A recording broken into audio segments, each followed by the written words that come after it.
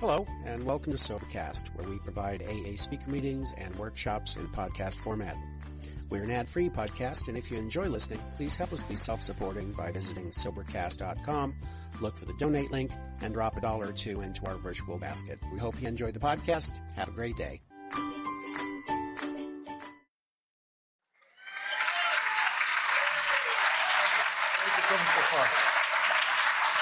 Uh, good morning, everybody. My name is Chris, and I am an alcoholic. Uh, on or around December 28th, 1989, the grace of God separated me from alcohol. Um, I found my way back into Alcoholics Anonymous, not really understanding what it was or what I was really needing to do. And, uh, and the magic and the miracle, uh, started to happen to me. And I haven't had it, I haven't found it necessary to have a drink since that time. And I'm very, very grateful for that. Um, you know, I'm, uh, this morning I'm a stand-in for Sandy, and I'm following Charlie and Katie. Uh, that's that is a that really is a tall order, uh, uh man.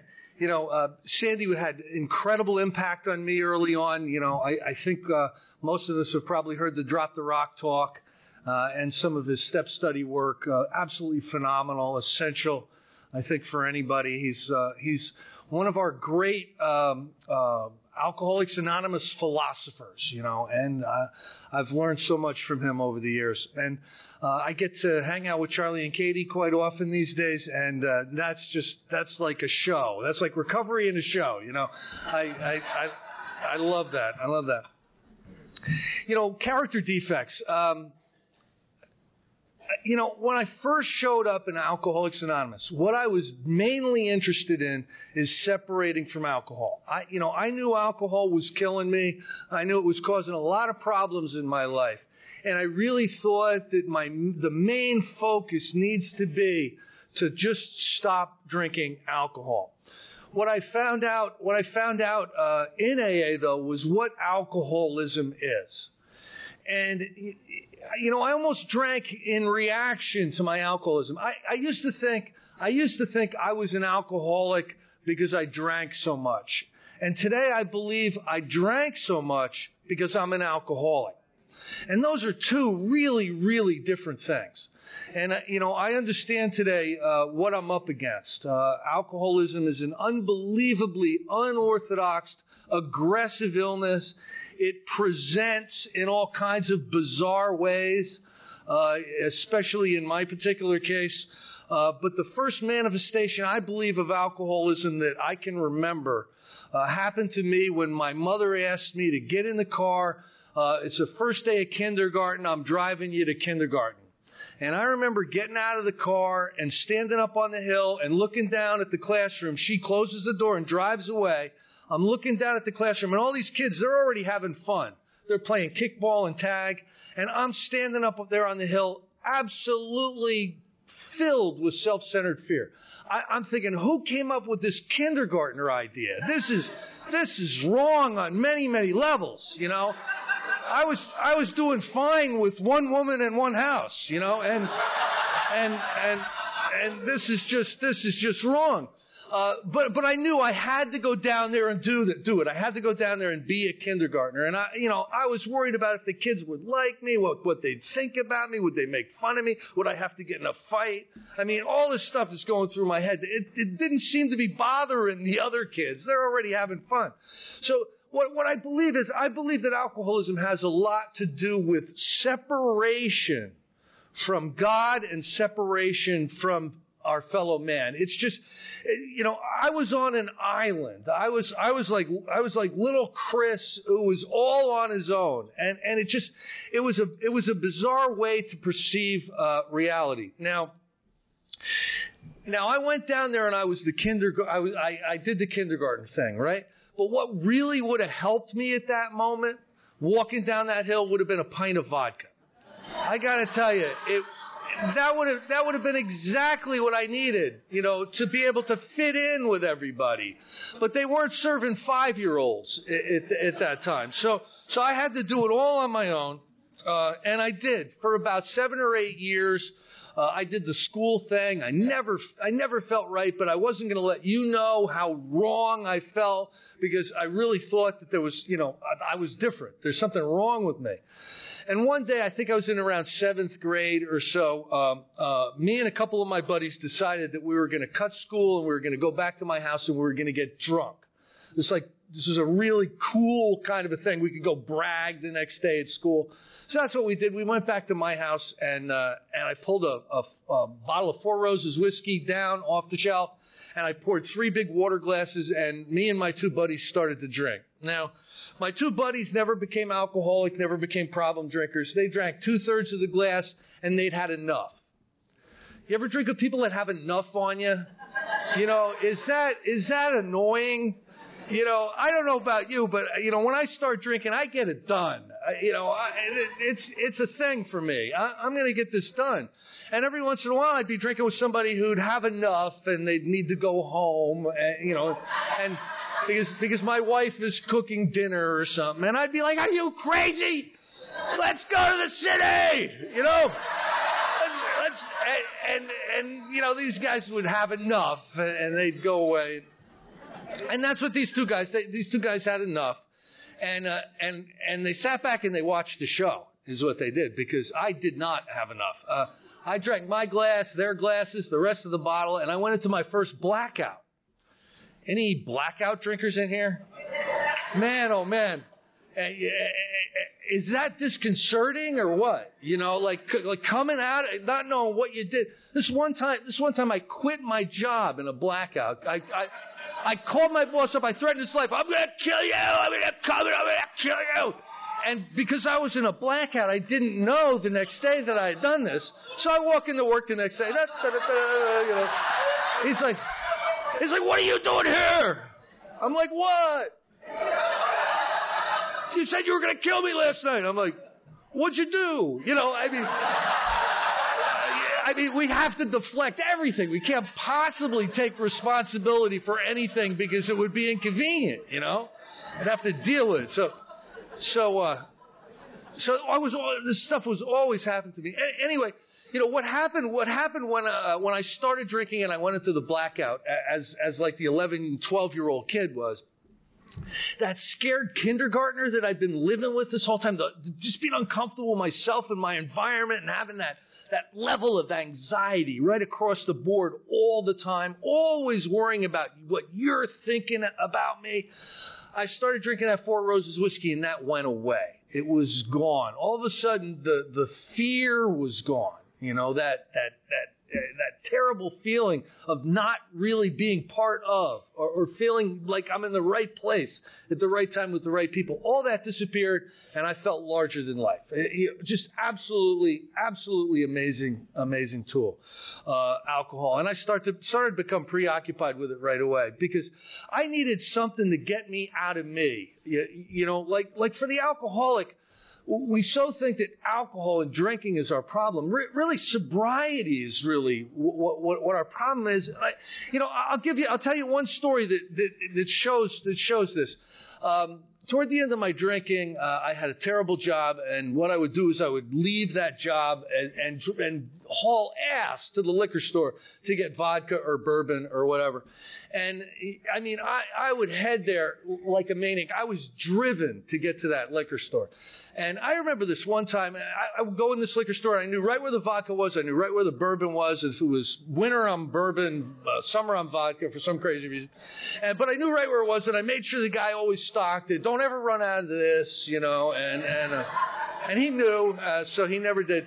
But I remember I grabbed my vodka and I went up, and usually I can just throw my money down and get the hell out of there and get home and start drinking. And, this, and I get behind, there's a woman in line, like talking to the guy who's going to check me out. She's going, she's going, yeah, what kind of wine goes with tilapia? and, uh, and the guy's going, well, you know, there's a Chardonnay from the California vineyard that has a marvelous blush. And I'm standing there with my vodka. I'm like, are you crazy? You're going to talk about what kind of wine? Because there's a wine job. I need to buy this vodka. Get rid of this woman. Give her a bottle of Gallo and get her the hell out of my way. Are you are you nuts? You know, I got a problem here. I, I got a problem. I'm sober. I gotta get out of here. You know? And that really was what my problem was. My my problem was I was sober and I can't stand being sober. Can't stand being in my own skin for five seconds. You know, I, mean, it's it's unbel- it's unbelievable. It's unbelievable that I'm standing here today because, you know, my first six months or so. Uh, in, in, Alcoholics Anonymous was really kind of in an unrecovered state. And I felt like I was standing behind the tilapia woman for like six months, you know. I, I and, uh, and, you know, thank God, thank God, uh, thank God I made it. But, you know,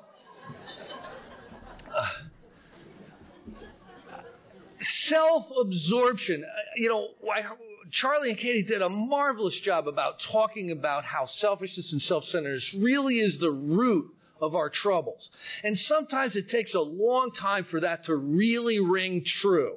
It, it did for me. I mean, you know, I, I did not think I was my own problem for quite a while. I, you know, uh, that would not have really worked well for me. Uh, you know, you you were the problem. You know, you know what I mean. You you were, you know, it's it's about you. And if and if and if this was different, or if that was different, or if I wasn't with these people, it wouldn't be the way it is. And, and I always had to deflect this stuff. But uh, you know, the longer the longer I'm sober and the more work that I do, uh, the more spiritual work that I do with the steps, the more I realize that really selfishness and self-centeredness really is the root of my trouble. Uh, uh, self-absorption, just always, it's, it's always about me. It, it, you know, I see things through my eyes and you know you all are uh, are, are alkanauts orbiting planet Chris, and you know and and I'm thinking about you know how you're when you're going to come in for a landing. Is it going to work for me? You, you know, it's it's just it's just absolutely it's just absolutely nuts. Uh, sometimes sometimes the the way uh, the way we think, uh, just being so focused on uh, on what's going on uh, with, with, us, and some of the lessons that I learned from my my early sponsors. Um, you know, I I, I, remember this. I remember this one time. Uh, I got a sponsor. His name was Fish Food Phil. Everybody had nicknames back then. Uh, Fish Food Phil uh, came up to me one time and he said, "You're you're celebrating 90 days." And I remember thinking, "Oh my God, I'm going to have to get up in front of people and I'm going to have to say thank you. I don't know if I can do this. This is going to this is going to be really rough." And we're, and we're driving we're driving to the meeting and he can see me in the back just panicking. I'm going into like a panic attack. And he turns around and he goes he goes, "Chris, man, am I glad I'm not you."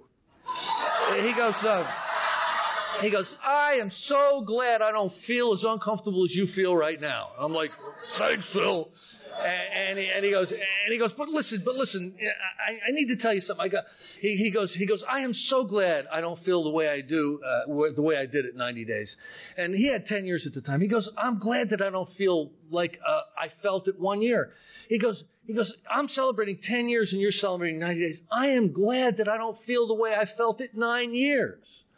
And what he was telling me, what he was telling me was to hang on to this thing and to stay here and to, and to keep working because, uh, because recovery can be progressive too.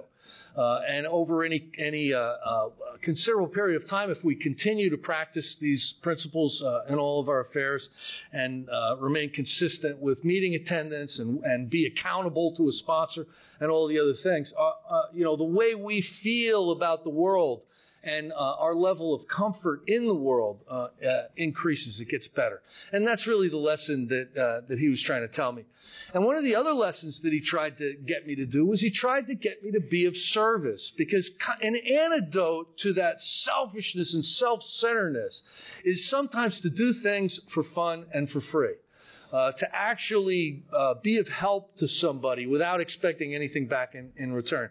And, you know, I, I examined that uh, one time during an inventory, and I realized that I'd never done anything for anybody without expecting something back in return, even if it was praise or thanks or, or you know, uh, put, putting that IOU in my pocket or whatever.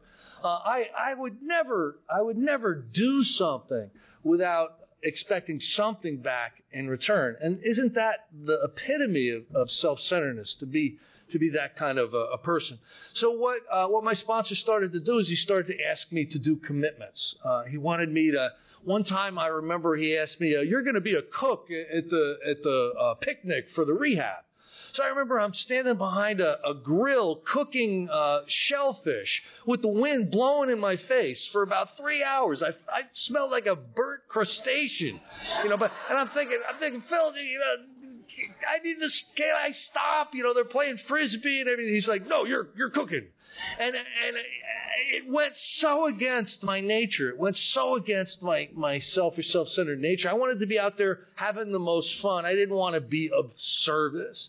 Yet he started to make me, he started to make me do this. And, uh, and it really did, it really did start to help. You know, so often we're in so much trouble, we, we don't even know how much trouble we're in. You, you know, the, the alcoholic is someone who is absolutely minimizing their situation. They, they are so minimizing. I mean, we're in always 10 times more trouble than we think we are. You know, uh, remember working with this one guy once, and he comes to me because his life is on fire. I mean, this guy's life is on fire.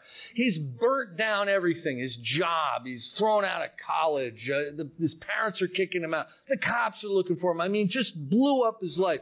And he's going through all this stuff, and he's giving, he's giving me the rundown on all the drama, you know. And, and when he's done, I go, I, I go, well, look, look, I'm, I'm pretty, reason, I'm reasonably comfortable that you're an alcoholic. And, you know, alcoholism is, uh, is a progressively fatal illness unless it's put into remission through spiritual practices. So let's get going with the spiritual practices. Let's, let's, uh, you know, come over my house tomorrow night and, uh, and we'll, we'll start on the steps. And he's like, tomorrow night? like, well, man, tomorrow night, well, that, tomorrow night's not cool. Uh, all right, uh, Tuesday? Oh, well, you know, not really going to have much time for this spiritual thing. Uh, I, you know, it's summer, and I, I usually tour with the dead. And, and, I, and I'm like, I'm like, dude, man, you're you're light, you're going to die. You have a fatal illness. You, you know, you're you're gonna you're gonna die, uh, you know, in disgrace. You know, you're gonna, you, no one's gonna be left around you when you die. You're gonna check out in the most uh, ignoble way possible. You know, uh, we we alcoholics just go out in the most pathetic way. And, and you're, you're worried about touring with the dead, you're going to be the dead. You, you know? And some, sometimes, sometimes the insanity of alcoholism is an inability to adequately self appraise your situation. And some of us just, you know, we, we, we just make it long enough, you know, we stay sober long enough to start to realize that we've got, we've got a, a, a spiritual malady that needs attention. And we start to do the things that don't, don't make a lot of sense. You know, the, the, the practices that they, they ask us to do sometimes don't seem to directly relate to what, what our problem is. I remember I went to my, my sponsor one time early on. I said, I said, Phil, Phil, man, you know, the, the, the guys are to come break my legs. Go quiet over there. I got problems with the car. I got, you know, girlfriend broke up. It's uh, really terrible. And he goes, uh, Chris, do you pray? I'm like, what? he goes, do you pray? I'm like, do you need me to start over again slow? what? What does that have? What does that have to do with with anything? And, and, he goes, "Here's what I want you to do," you know. And he and he gave me a prayer discipline, and and I walked I walked away thinking, you know, he doesn't get it.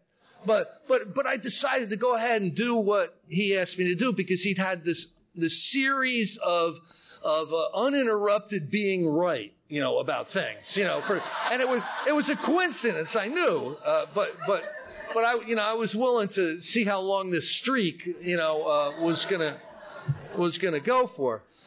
And I, you know, I started doing. Now I, I realize it today. I realize it today that if he was going to help me with with the bone breakers, if he was going to talk me through the drama of uh, the relationship, or or take me to motor vehicle to get my license back, or any of that stuff, which I kind of expected, he'd be he'd be helping me with the symptom. He wouldn't he wouldn't be working on the causes and conditions of my failure at life. The causes and conditions of my failure at life was the, my perspective on my life and how I operated, my operational methodology based on selfishness and self-centeredness.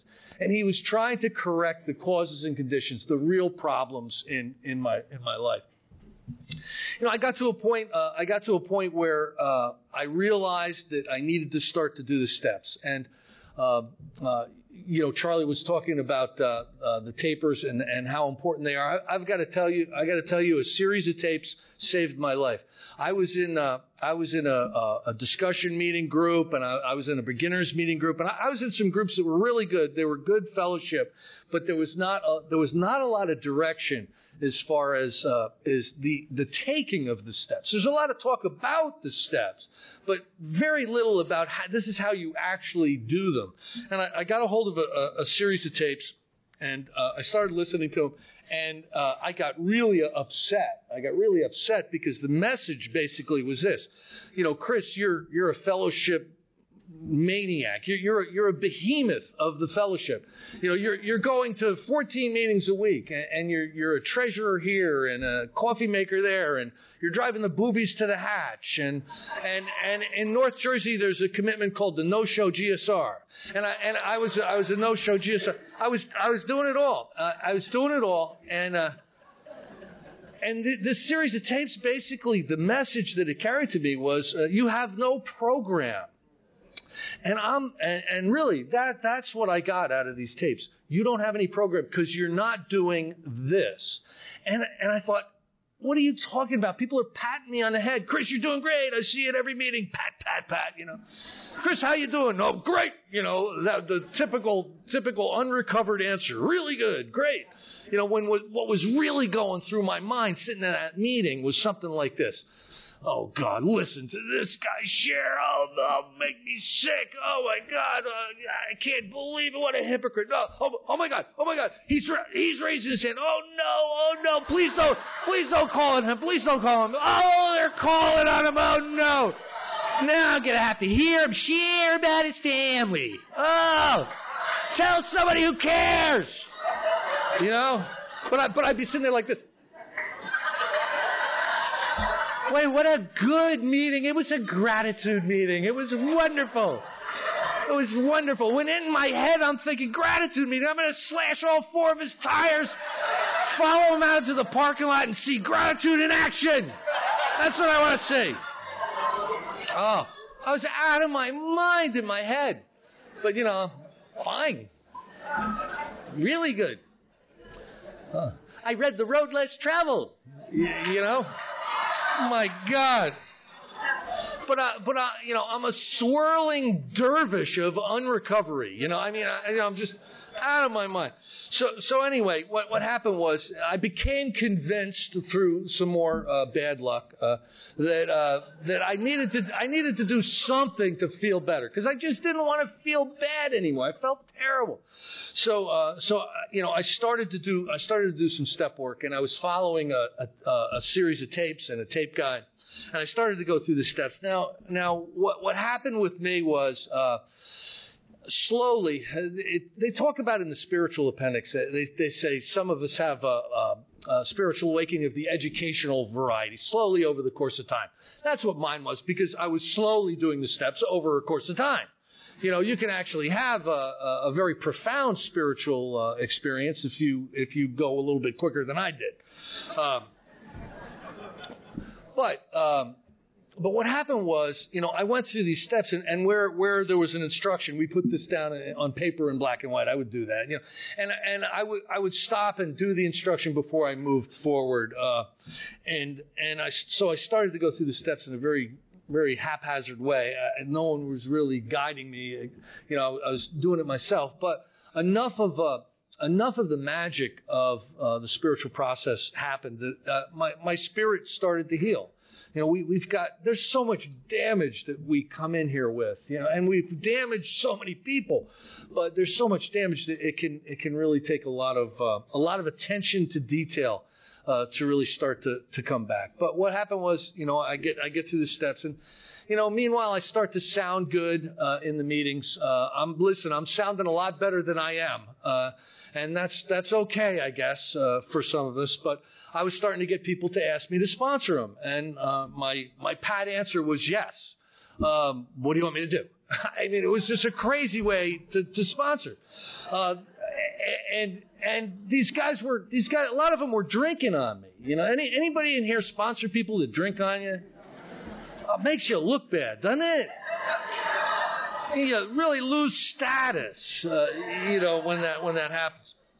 So I came up with the idea. Okay, let's let's just bring them over to the house. Let's let's do some step work, and we started to do that uh, I got a bunch of people, um, you know, through through the 12 steps, and a bunch of people that didn't go through the 12 steps. And, and really, the, the, the wonderful news about all this is, is that the people who actually did the fourth and the fifth step, who actually did uh, the eighth and the ninth step actually went back out and made amends and actually put together a, a, prayer meditation discipline and actually started to take other people through the steps. Every one of them is still around. And you know, this is back in the this is back in the early 90s when when this began. They're still all around. And the people that did not make it through the steps, they're all gone.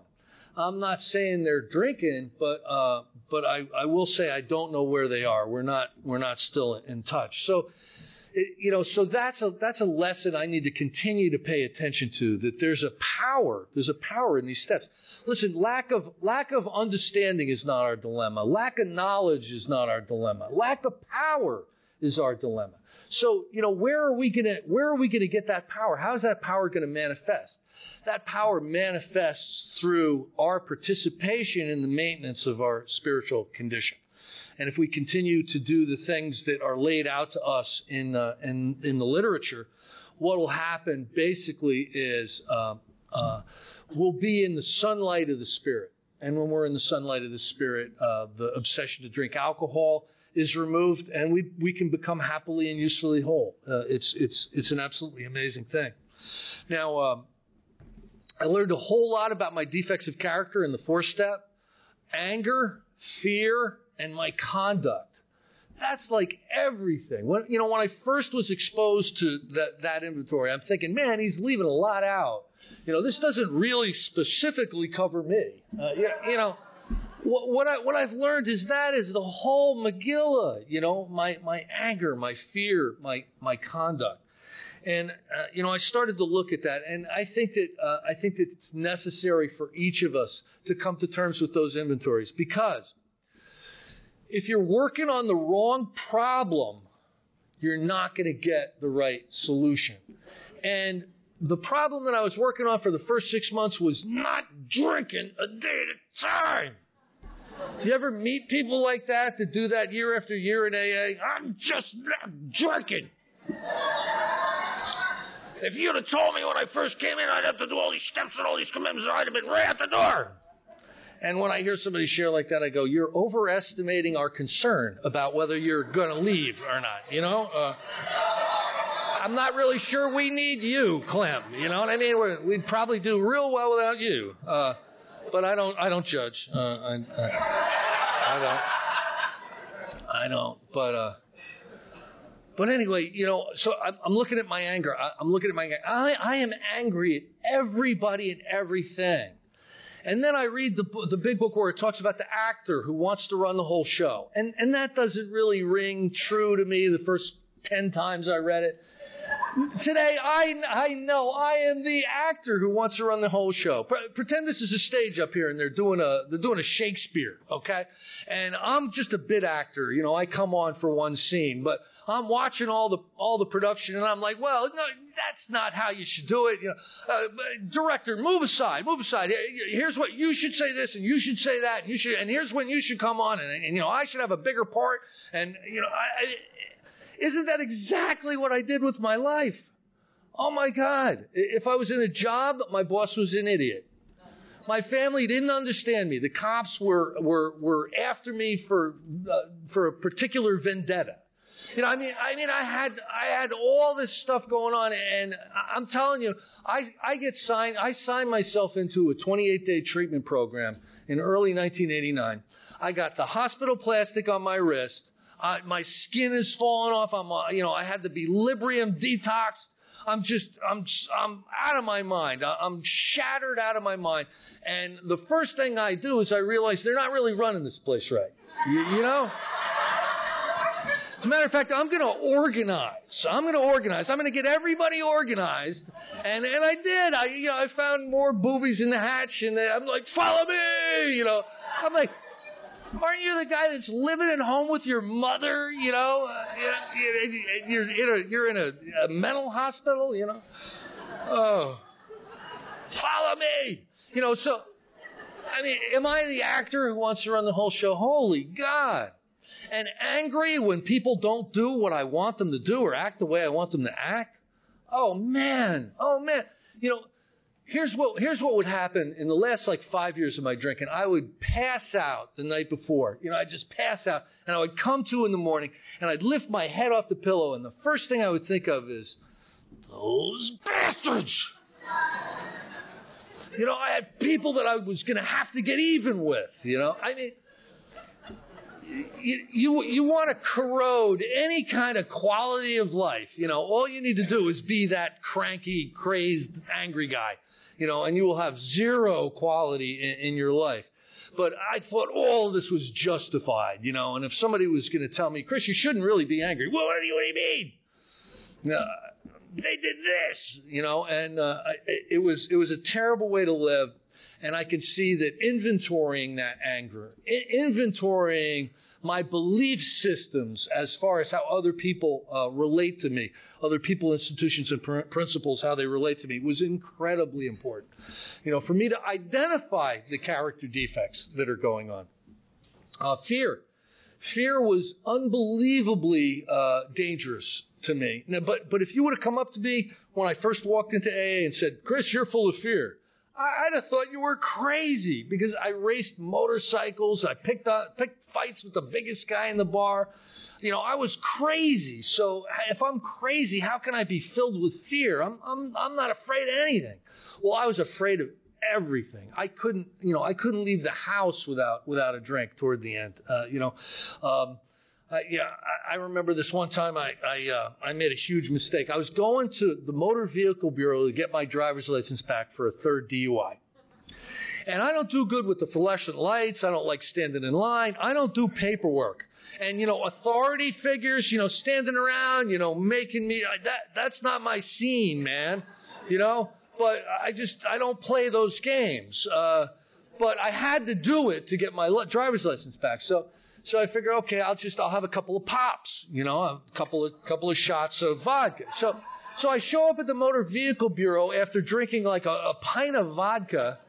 Um, it's ten o'clock in the morning, and and you know, I finally I got all the pieces of paper. I got this piece, I got this, and I got this, and I got this, and, and I'm sitting in front of this woman, and I go, and here's this. So you you need to give me my form so I can go get my license. And she leans forward and she starts sniffing me. She's going like this, right? She goes, "You smell like vodka," and she starts reading my rap sheet. She goes, "You're getting your license back for a third DWI, and you're drinking vodka at ten in the morning? Did you drive here?" You know, I'm like, I'm like, no, you know, and. Like she had to give me the form, right? So she finally she gives it to me, and I grab it, but she won't let go. And we're like, we're like, finally, you know, she's trying to protect humanity. Oh my God. I listen. I was a I was a bad uh, bad drinker. Any got any drinker and drivers in here? Yeah. And the rest of you lying good for nothing. So I I know. Uh, Oh man, I had I had some times. Uh, you know, uh, uh, my wife Andrea is is over here. She was actually at one of the, one of the accidents that I was at, and uh, you know what happened this night was I, I allowed myself to to be uh, overserved, and that'll ha- that'll happen. Um, we were chugging pitchers of beer. Okay, yeah, listen, you know if you if you're a pitcher of beer chugger, that's an important warning sign for alcoholism. Okay, you know that's not social drinking when you, when you beer all over me, you know. And I, I end up, I end up going out, going out and, and driving home. I made it about a mile and a half down the road and the car spun around backwards and hit a bridge abutment. I get thrown out the back window. I, I come to and my legs are still in the car and I'm laying on the trunk looking up at the sky.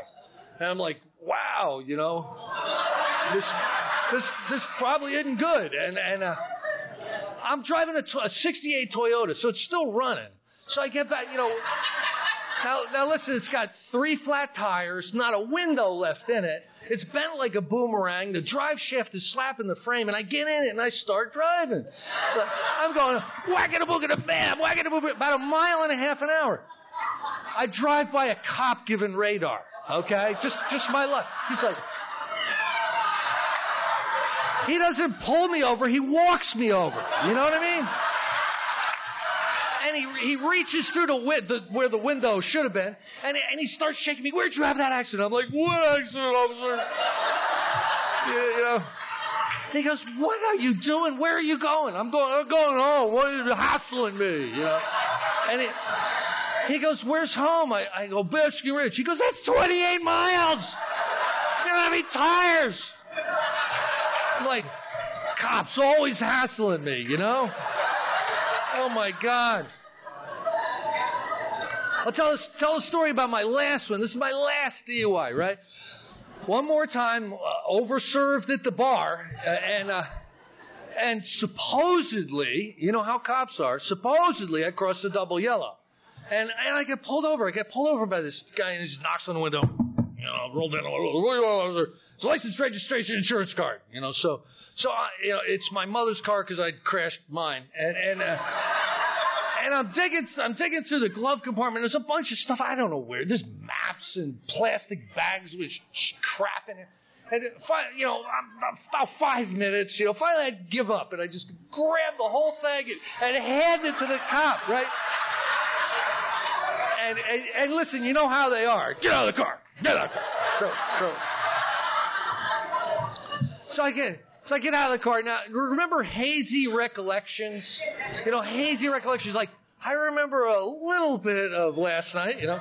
Well, I remember I remember being taken to the police station and and being given uh, some some tests, and I remember that I nailed the ABCs. Okay, I nailed. I, I remember it clear as day. I nailed those ABCs. It has nothing to do with me learning them when I'm three, you know. But I nailed it. And uh, so I hired a lawyer. You know, I woke up with the with the summons in my pocket. I hired a lawyer, and the lawyer is uh, the lawyer and I have to go up there, and we we've got to watch the the VHS tape because they taped me. Has anyone in here ever been videoed while you're, you know, oh, Charlie, oh my God. It's traumatic. It's traumatic. You're going to need therapy, and because uh, it's just, it's really disturbing.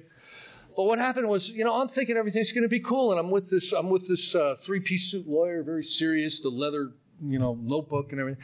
And uh, I, I should have known there was a problem when the cop handed the, the tape to my lawyer because he did it like this, right? So, so I'm like, uh oh. sure enough, he puts it in, he puts puts it in, and he pushes play, and I'm like, oh my god, I'm horrified. I am crap hammered. I am, I am so, I am tongue chewing, pathetic drunk. It's just, uh, it's just awful. And, you know, yeah, and I did nail the ABCs. I nailed them like this. I need a cigarette. Oh my God. Oh my God. There's video of me where they're saying, uh, Mr. Schroeder, please take your hands off the police officer while walking the line. I'm like walking the line, hanging onto the cop. Oh, it's just, oh, it's just bad. Now, now the whole time, the whole time the attorney is like really serious because I'm paying him like fifteen hundred dollars, taking notes and everything. Now I'm, like, I'm like, I'm gonna kill myself when I go home. I'm gonna, you know, it's just too much. It's too much. And, and at the end, I didn't remember this, but at the end, uh, the cop goes, "Oh, Mr. Schroeder, uh, you know, we're going to turn the, the tape off now, but we just, do you have anything to add before we turn the tape off?" And I'm like, "Uh oh." Sure enough, I look right over at the camera and I go, like this way, like, oh no! Now, up to this point, up to this point, my attorney is really serious. You know, my attorney goes, Goes, oh my God, oh, that's the stupidest thing I ever saw anybody do in my life. Oh, If you had any chance at all, you just blew it. Blow. Oh, I'm like, oh. Oh. I lost my license so long I thought there was going to be jets Jetson mobiles. You know, you know, when uh, when I got my license back. Oh man, the humiliation. Oh Jesus. You know, so so fear, fear. You know, fear.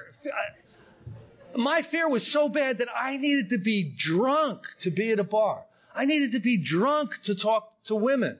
Does anybody in here remember remember square dancing from school? Oh my God! Who came up with that one? Now, now, if you're a normal kid, it's like no big thing, right? I, I mean, you know, if you're an alcoholic, it's like going to the front lines of a battle. I, I remember it was like a big room like this, and they lined all the girls up on one side and all the guys up on the other, and they blew a whistle. And you had to like run across the room and ask a girl to dance really fast. Oh, you know, oh my God, she's gonna say no, you know, you know. Oh, it's terrible, terrible. And uh, you know, years later, when I was going to the high school dances with blackberry brandy in me, you know, it'd be it'd be like, you know, hey, you want to dance? Uh, well, not really. Uh, well, don't come begging me later, you know. You know what I mean? You're going to be awful sorry about that. I mean, that, I, that's what I needed alcohol for. I needed the alcohol to change the way I felt about everything. You know, I, I would everything was just wrong, and, and I needed out. I needed out of me.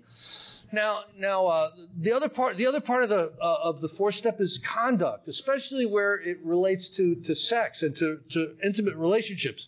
Oh my God, was I was I off base there? I was a I was a hostage taker. You know what I mean? I would find a woman susceptible to my limited charms at that particular given time and you know latch on. Okay, it's you and me, and I'm going to tell you what to do in absolutely minutia detail. And and it's going to be your job to to keep up and read, be able to read my mind, you know, and and and not upset me. And, and uh, they'd be like, what? And so everything blew up like the Hindenburg. All these relationships. Oh my God! I. Uh, you know, I got married. Uh, uh, you know, I, I married a, a high school sweetheart. Uh, that that exploded. Uh, you know, I, for the longest, and uh, I'm telling you, what what really the guilt and the shame and the remorse that I experienced because of the difficulties that I would have and and my behavior and my conduct in these relationships was was traumatic. I mean I don't think anything anything made me feel worse than uh, than looking back on some of the some of the ways that uh, that I had acted really inappropriately and and uh, and wrong. So I've got all this stuff going on now. My you know my alcoholism. I got all this stuff going on. I am so burdened with the the the the uh, weight of Chris. You know, everything is just so painful, uh, and that's that selfishness and that self centeredness. Uh, um, even though I don't think so, that's really what the root of all all of this stuff is. And you know, when I'm looking at uh, when I'm looking at step six and step seven, uh, I think it's very very important to read the black part uh, of uh, of step six and step seven. Uh, you know, I think uh, I think Charlie and Katie talked quite a bit about. About defects of character that appear in the fourth step and the third step, the third step exercises, and, and how these particular character defects, defects can be more uh, than we can handle on our own. I, I truly believe that uh, today. Here's here's basically what I, what I did uh, my first run through the steps. I did the I did the fourth step. I did a fifth step with my sponsor, and then I took six months off to work on my character defects. Ask me how that went. You know, oh my God, uh, what a complete waste uh, complete waste of time um, uh, it, it is it is like whack a mole. It's it's like you know okay I'm gonna I'm not gonna be selfish today. Uh, you know, and uh, and anger will pop up, and I'm not going to be angry today, and fear will pop up. It's it's absolutely crazy for me to be working on these character defects. Uh, you know, the the language in our literature has become willing to have God remove these defects of character, and then ask humbly ask God to remove these defects of character. And I think, like my alcoholism, my alcoholism was much bigger than something that I could just wish away or want to change. The same thing with my, my character defects. These, these are belief systems that are so ingrained. They are so deep seated at certain times that, uh, uh, that me just wanting to change is not enough. It has to be behavior based. I have to, I have to really, really participate in the removal of these character defects in a spiritual way. I can't go at them head on. There's a, there's a great line in the 12 and 12, and I love, I love what it says. It says, um, uh, God will not render us white as snow without our cooperation. I believe that so much.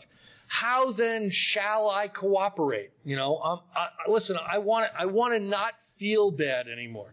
Even if I'm using selfishness as a motivation to get better, sometimes sometimes the motives don't matter, the actions do. Um, uh, you know, I really, really want to uh, want to get better. Um, I need to take some serious action. I need to continue to to do uh, to do inventories. I think step six and step seven um, really need the rest of the steps. I I do. I don't think that you're going to finish up a fifth step, do six and seven, have all your character defects removed, and then move on to eight and nine. I think it takes a little bit more work than that.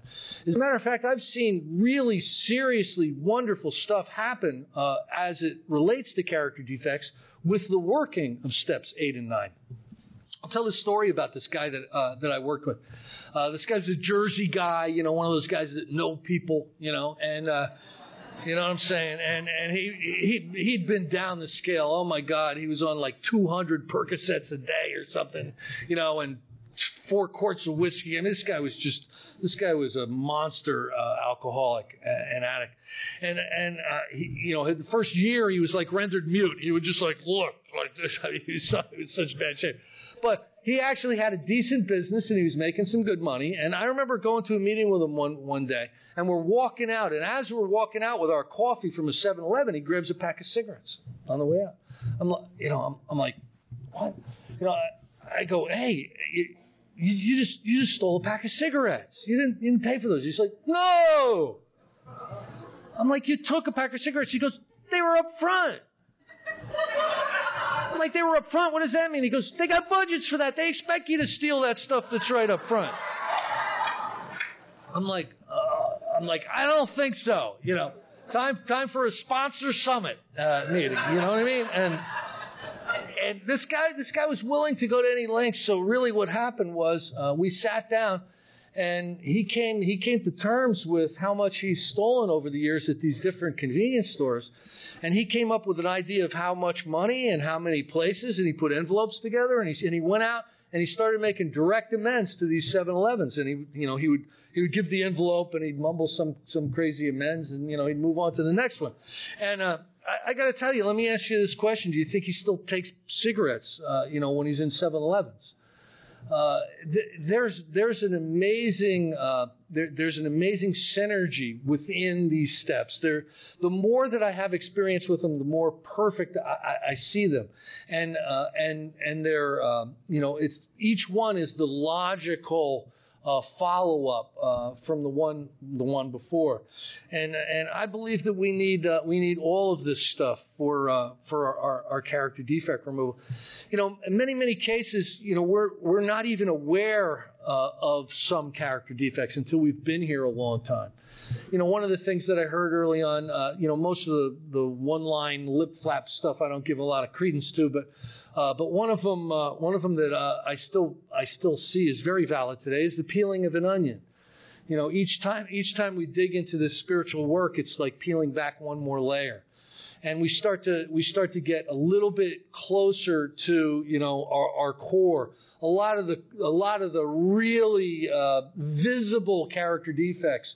Uh, what's happening is they're they're they're getting under control with the spiritual work and with the power of God. They're coming under control but there's stuff a little bit below the horizon. There's, there's stuff that sometimes we only we only recognize. You know, um, and continuing to take inventory of that stuff is very, very important. I can think of five or six times this morning where, where my behavior was selfish, and and uh, you know I was the way I was moving around had to do with me and what I needed, and it really didn't have to do with uh, with what other people uh, what other people needed. You know, one of the great things I love about uh, Charlie and Katie is is their their authenticity about you know what's uh, what's really real and what's really going on in their life. I think I think we could use more of that uh, that gut level level honesty sometimes in Alcoholics Anonymous. You know, but uh, but today uh, I you know I still I still am confronted very very visibly with these particular character defects. They're they're at a different level. They're not hollering and vomiting like they were you know in day one, but uh, they're they're different. But but they're still they're still there. And I think uh, I think there needs to be continued continued work uh, continued participation in the maintenance of our spiritual condition, continuing uh, uh, to, to, to view these things, to inventory these things, uh, to make amends for them, to make amends for the character defects when they have caused harm is extremely important for the removal of these character defects. And uh, and over the course of time, uh, you know, I can I can become more and more and more willing to to do them. You know. Um, what's really amazing, what's really amazing is that we, with, with these unbelievably grievous character defects and dysfunctional way of living, you know, when you look at, you look at just how bad some of us were, how, how in hell did we get along, you know, out there? Why, why, did, why was there not a net thrown over us in, in some, in some cases? You know, I like, I would I would put up with behavior, eh, you know, from a family member the way I was behaving. I would put up with that for about a minute and a half, you know, and uh, and some some of the people uh, some of the people just put up with an unlimited amount of garbage uh, in, in my life, and uh, you know I'm I'm really really uh, really really grateful for that. Um, I didn't understand that uh, character defects were at play when I was out there using. I wasn't I wasn't inventorying anything when I was out there drinking and uh, and and uh, and using substances uh, in a very alcoholic way. Um, but they were. They they really really were. Um, you know, it's a it's a crazy thing. Sometimes what we do uh, because of alcoholism. I got to tell you, alcoholism with me was there from 13 years old until uh, until today. Alcoholism was just all over me.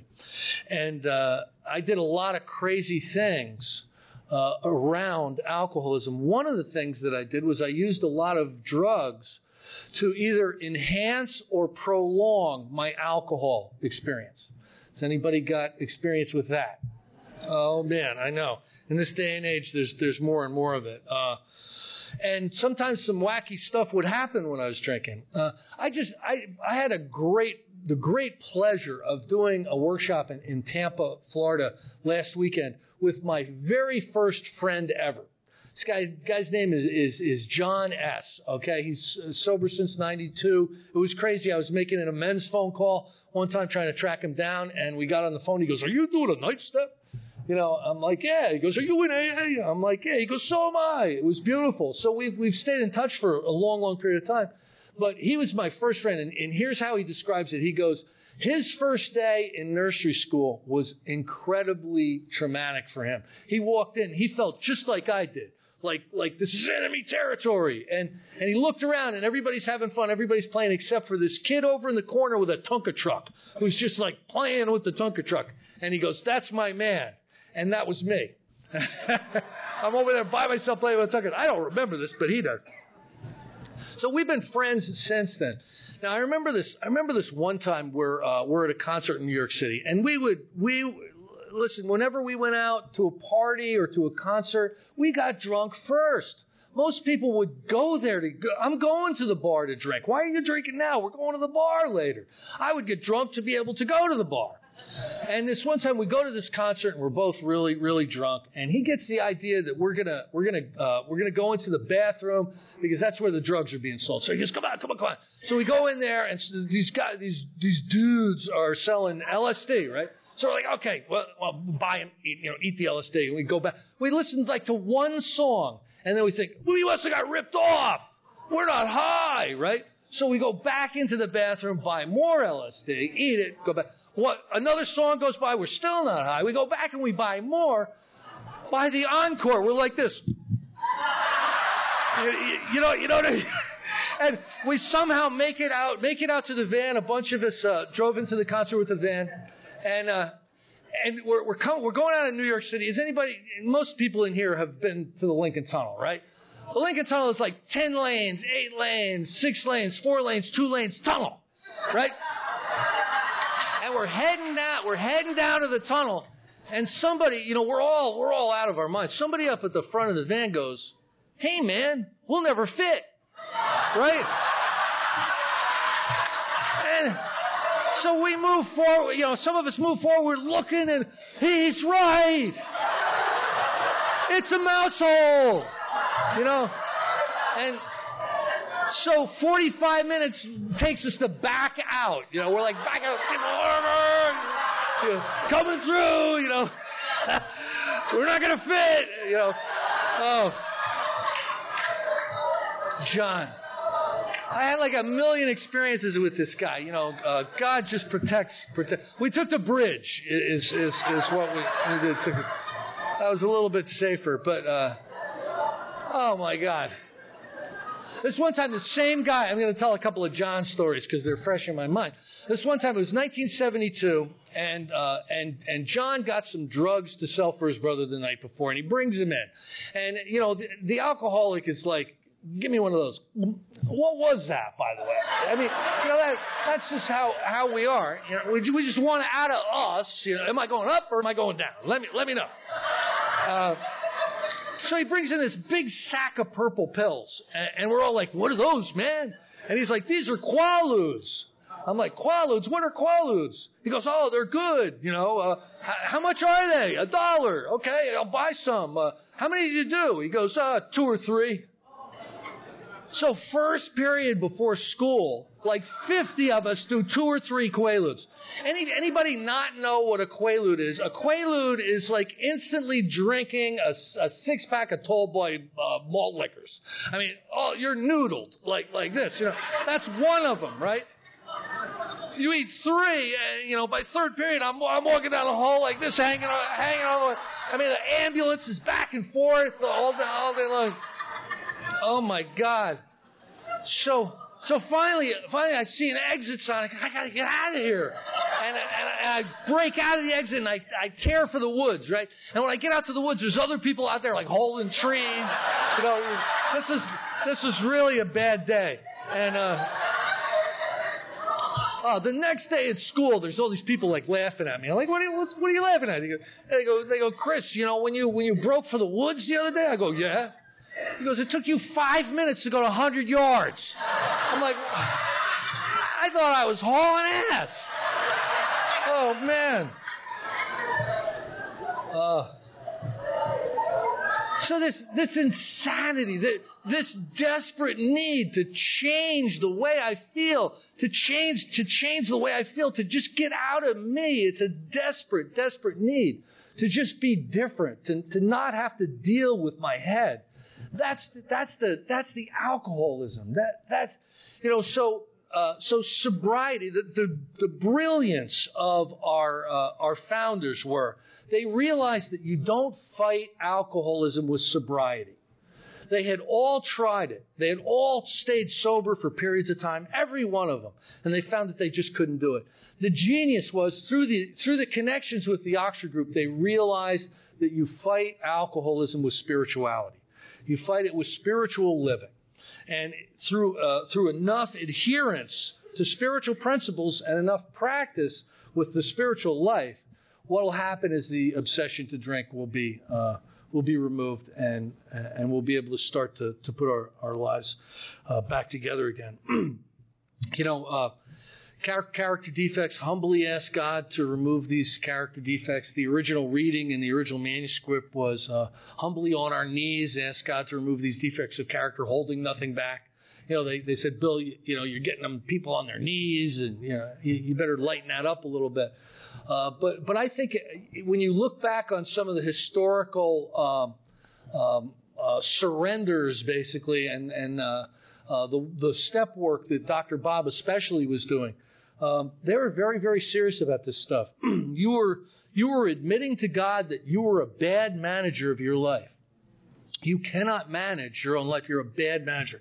You need to turn the management of your life over to the care of God. Um, we need to ask God in a very, very humble, very, very defeated way. We need to ask God to have these defects of character removed. Uh, to be able to move forward. I truly, truly believe that, you know, and it's uh, it's it's been my experience that some uh, some good things uh, some good things have happened. You know, um, over the course of the years that have gone by, uh, my life has gotten incrementally better every single year, just like my pro- my sponsor promised me.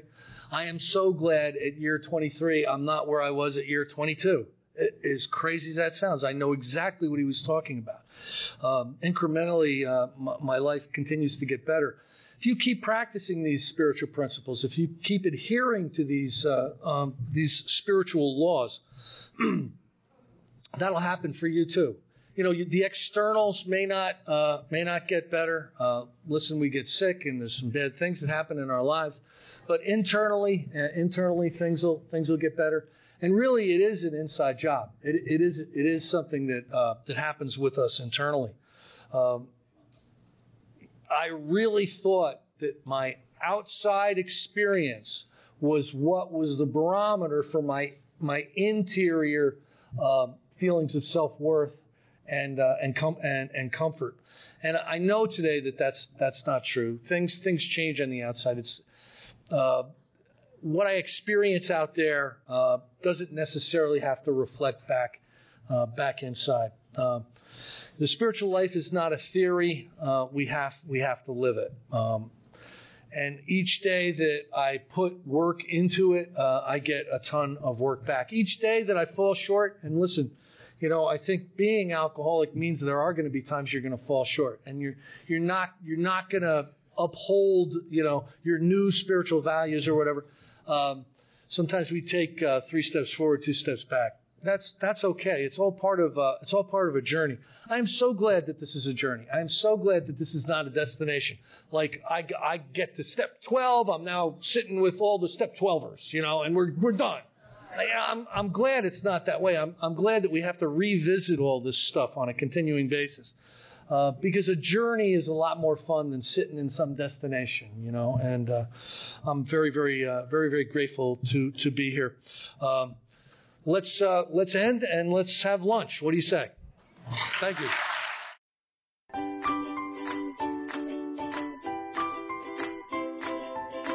Thanks for listening. I hope you enjoyed the podcast. Sobercast is ad free, and we'd like your help in order to keep it that way.